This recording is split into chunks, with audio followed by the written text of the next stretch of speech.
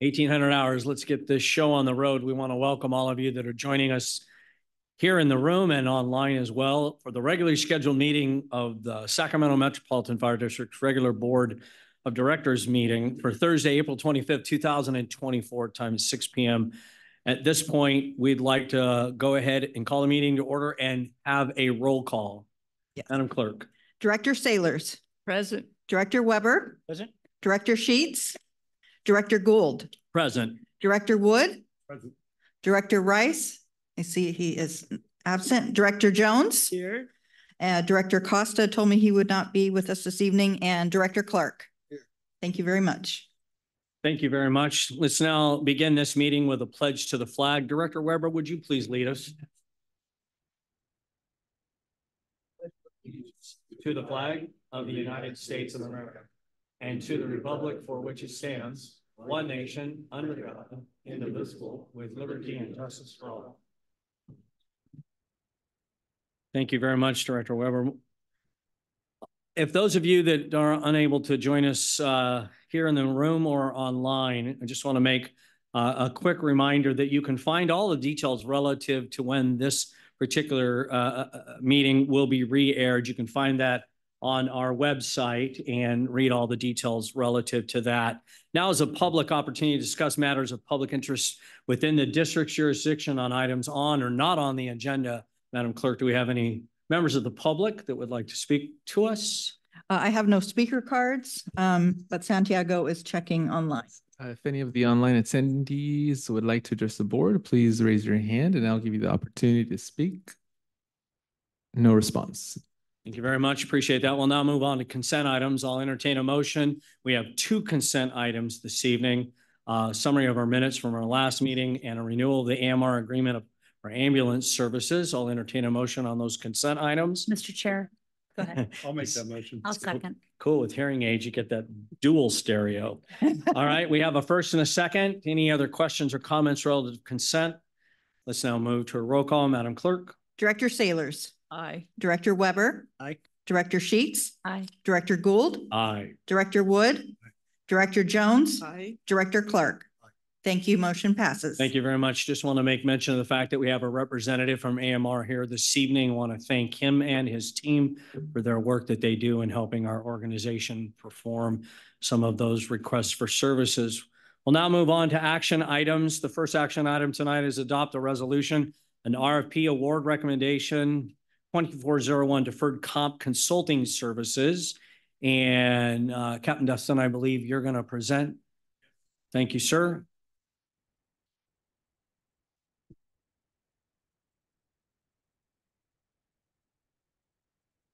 Board President, Board of Directors, Chief House, my name is Dustin Rodriguez. I am a captain at Station 101, and now I'm sent here tonight to uh, present to you about the 457 um, RFP process that we went for our third-party administrator and our um, financial consultant. So our, our financial consultant helps us make sure that we're doing fiduciary testing and um, if I can. Sorry, I'm gonna calm down for a sec. You're good. Take your breath. You're fine. You're doing great. Uh, our financial consultant is Hyas Group. They essentially make sure that our third-party administrator nationwide is doing the job that they're supposed to. They make sure that any fiduciary updates or legislative updates that come from the Department of Labor um, are met and any changes that need to be made were being made. Also, the nine committee members that are there, three of them are retirees, six are active, and one is a administrative staff. And they make sure that we get the training we need to go help our members. Um, so with that, Hyas Group went through a process. There was three um, submittals to the RFP. Hyas Group is our incumbent and they won again. Um, they merged with Morgan Stanley and that's why you see Hyas Group as part of a separate business of Morgan Stanley over the past year and a half, two years. Um, with that, we have a one consultant, Vince, and he is assigned to us. He shows up to all of our quarterly meetings and he's there for any phone calls, any changes that uh, come up. So whenever we're looking to expand or offer services to our members, he is the one that we can call to make sure that their legal and fiduciary responsibilities are met. And that is all I have, unless you guys have further questions. All right. Thank you, Captain. Any questions for this fine gentleman? Uh, Captain, I can share with you that I, I think I can speak on behalf of the entire board, but we are so delighted on this deferred compensation program and process. I know every time we get the details about it, it's just really heartwarming that you all have, have gotten behind this in such a major way. And it's such a wonderful thing for those that are involved in it. So kudos for all of your work. I know it comes with huge paychecks being on that board as a firefighter, right? Mhm. And- Yeah. And, It's and, and it's lot just a great thing because it offers to us, I think, that next layer of comfort that the men and women of this organization also have some of that, that investment that can help, you know, at, at some point in their future. But thank you very much for all the hard work and your team do. And, and this is just a wonderful thing. So I'll entertain a motion. Thank you, Captain. I'll entertain a motion to adopt the resolution. I'll make the motion. Okay? Okay. Marnie, you get to decide who was that. Thank All you. right. Any other questions or comments? Let's go ahead and call the roll, please. Director Sailors, Aye. Director Weber. Aye. Director Sheets, Aye. Director Goold, Aye. Director Wood, Aye. Director Jones, Aye. Director Clark. Aye. Thank you. Motion passes. Thank you, Captain. Nicely done. All right, we'll now move on. Just for your information, we'll be dealing with action item number two after closed session. Mm-hmm. So we'll move on to reports. I just want to make mention, if any of you are tracking the agenda, you will see that tonight there are many no reports, and that's intentional. It's not as if mm-hmm. our deputy chiefs and others aren't interested in giving us an update in their divisions. But uh, that was an intentional uh, decision on our part, uh, given some things that we will be doing in the future. So I just want to make a point of that. The first report is mine, and I get to uh, just really thank the men and women that helped uh, send a good team to Washington, D.C., commonly known as Cap to Cap. Um, I've done that a few times in, in my tenure here, and I, I can easily say this was one of the strongest cap to cap experiences that we had based on a lot of decisions that staff made prior to us ar- arriving, the relationships that we have been developing in DC. And, and I want the public to know that it was, um, it was money well spent. The connections that we made, um, the things that we heard, the experts that we met with, and on occasion, a couple of the members of Congress, um, we had an outstanding educational experience. The relationships that we're building in the region is, is money you, you just can't spend as well as we, we were able to and, and get access to the people. We, we met with experts at a national level that were just very intuitive. I wanted to make a special call out. Everything that we did was fantastic, but there, I, I go to a lot of meetings and a lot of presentations and a lot of conferences. And I sat with a, a panel led by our own Deputy Chief of Operations and Chief Mitchell, that was one of the finest presentations I've seen in decades. The details, the, the experts that you were part of blew my mind. It was just that incredible. I could have sat there the entire day and blew off all the Congress and Senate people they wanted us to shake hands with, because that was really where the rubber meets the road. And it has such an impact on our own organization. And, and I'm sure in the future, uh, we will make some policy changes based on the little that we heard there was only an hour. And, uh, and yet it was phenomenal. I still lay awake at night thinking, what can we do and meet those people and get some of that information? So personally, I just wanted to shout out to you and that team and, and, and Jeff and Kyle and everybody else that was involved, the hard work that you did to make that beneficial. You know, it's not an easy thing to take time out of our busy lives and go do that, but the the return on investment, shall I say, was incredible. And I look forward to doing it more frequently because I think the benefit to the citizens of the Sacramento region is tremendous as we make these connections. So that's my report. I'm sticking with it. You can't make me change it. And I'll move on to the fire chief's report. Thank you and good evening, uh, colleagues, directors, members of the public. Uh, I'm just going to add to that. It was a fabulous experience, but the connections, relationships, and the the image that we branded as we know it called Metro Fire, uh, we are making the standard not only locally, but it was apparent um, throughout the state, but throughout the nation. So it was received extremely well. I just have a very short report.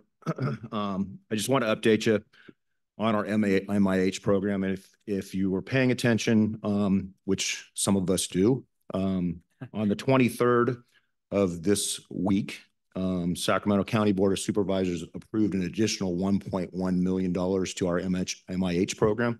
That's going to open up a second MIH, so we will have one north of the river, one south of the river. That's a great accomplishment for that program and for Metro Fire. But I go back to relationships. That's all built on relationships. And I can't uh, thank the Board of Supervisors enough for recognizing what we're, we're doing for the community and bettering um, everything we do, not only just for first responder, responders, but um, for the Sheriff's Department for getting the patients to the right facility at the right time with the right people. Um, so a big win for our organization, but really a bigger win for the public we serve.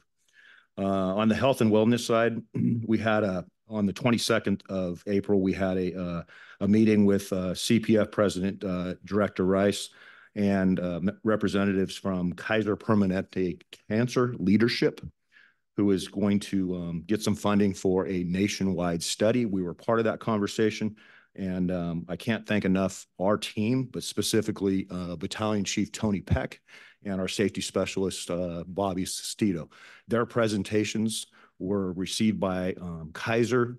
Um, their comments were, we've never understood some of the information you provided to us and the depths of which cancer is affecting the fire service. So we're going to see a lot of rewards from that. And the last thing is, uh, some of you attended, I believe, on April 20th. We did a uh, joint Red Cross uh, home fire and safety checks. We uh, installed and went to 450 homes, installing four, 347 smoke alarms uh, at over 200 homes. Big win for the community of Rancho Cordova, uh, big win for, for Red Cross, and that will save some lives. And that's the end of my report. Thank you, Chief. Um, just want to make mention that we have no ops report, administrative report, support services report, and I have a good author- on good authority that we will also not be having a local five to two report this evening. So we're moving right on down the agenda. We'll start with committee and delegate reports.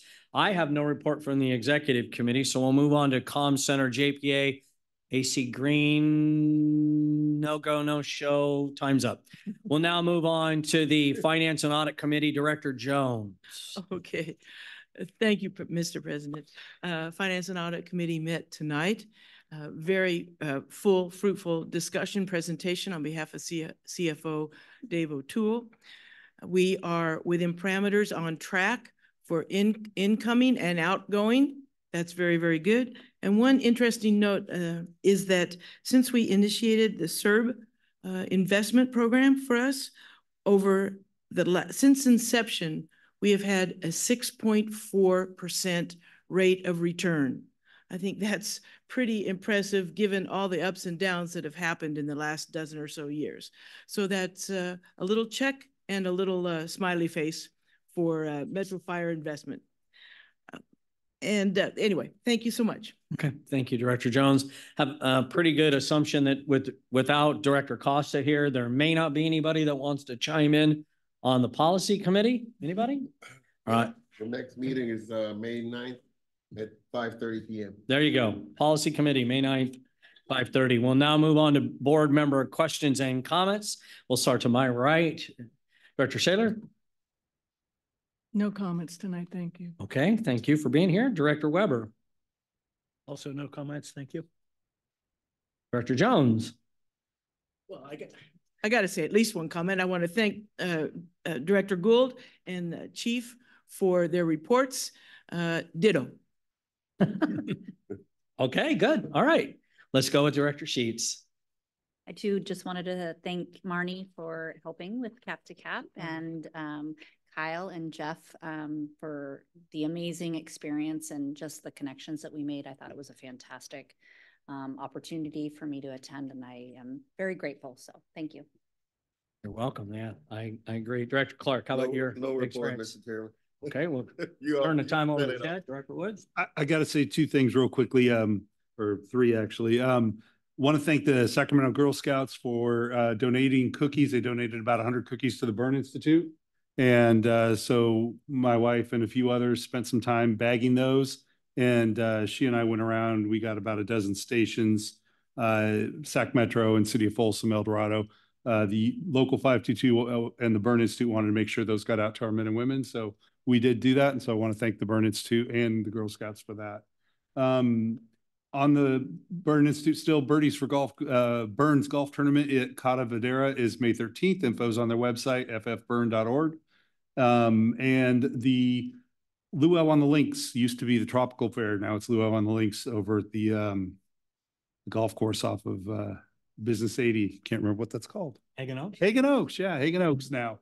Um, it's June 29th. The Information's on the website. Tickets are for sale and volunteers are needed. We need, uh, both firefighters to, uh, show up and, uh, sell some raffle tickets and we need others to volunteer to help man entrance and, and do other tasks of, for the Burn Institute. So if you can volunteer, do it. If not, go buy your tickets on the website and we'll see you there. Thank you. Thank you, sir. Appreciate that. As we close up tonight, uh, Director Weber and I had an opportunity to go out to um, uh, some training that was done today. I Want to thank Battalion Chief Cole and others for that. Uh, it was wonderful to see the men and women. We both were a little nervous about the smoke that they generate. You know, I- don't know why it doesn't smell like raspberry or something because we know it's fake. But and also thank the city of Citrus Heights for giving us access to those facilities so our men and women can be uber prepared for those dangerous commercial fires that we on occasion run into. So thank you to them for allowing us to do that. With that, you probably are all aware of the fact that we're going to go into closed session. Now, I hope I don't have to remind you that when we come back out, you shan't be here. Okay, there's no reason for you to stay and wait for us to report out. So please go home. Thanks for all the work you do. And we're going to go into closed session now. Thank you. Into open session, we'll have our uh, general counsel report out on closed session. Uh, Thank you, Director Goold. Uh, The board met in closed session under the closed session agenda to consider the industrial disability retirement uh, for employee Brian uh, Watley. Uh, No reportable action was taken. Thank you. Thank you, John. Appreciate that. Uh, I will entertain a motion for the, the action item listed in the uh, agenda for the industrial disability retirement of Brian Watley. Mr. Chair, I'll make the motion. We find, uh, accept, adopt staff's recommendation and find, uh, Captain Watley. disabled. Okay, I've got a first and second on the motion. Uh, Madam Clerk, please call the roll. Yes. Director Sailors, Aye. Director Weber, Aye. Director Sheets, Aye. Director Goold, Aye. Director Wood. Aye. Director Jones, Aye. Director Clark. Aye. Thank you. Motion passes. Thank you very much. Just like to let my colleagues know the next, next regularly scheduled meeting for this body will be on May 9th, twenty twenty-four at six P M in these, uh, in these chambers. Thank you very much for your attention this evening. Thank you. Bye-bye.